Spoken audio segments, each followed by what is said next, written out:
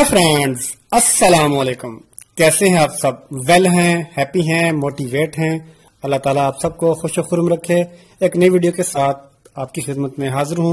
जैसा कि हमारा मौजूद चल रहा है अकलमंद तो आज उसका पार्ट सेवन पेश करूँगा। होप कि कुछ नया सीखने को मिलेगा। तो चलते हैं वीडियो की जय शेख सादी रहमतुल्ला फरमाते हैं, अगर रोजी का इन्हसार अक्लमंदी पर होता तो बेवकूफ़ों से ज़्यादा कोई मुफलस न होता।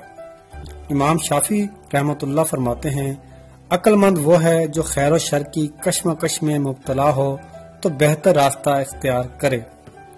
सफियान सुरी रहमतुल्लाह फरमाते हैं, जो इबादत में लगे, इन्हें अकल मिल गई।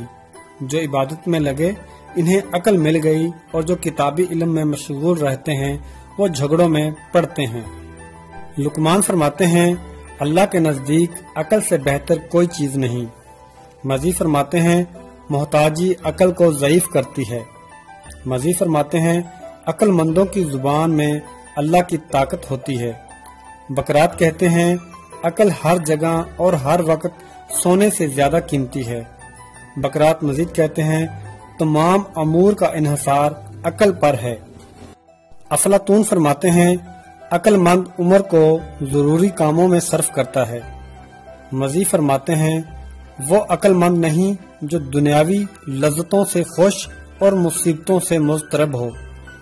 मजीद फरमाते हैं, अफलातून, अक्लमंद अपनी ज़ुबान को दूसरों की मलामत से महफूज रखता है और अपना राज छुपाने पर कादर होता है।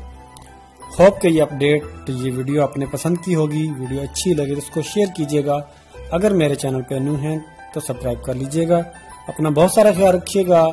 टेक केयर अल्लाह हाफिज।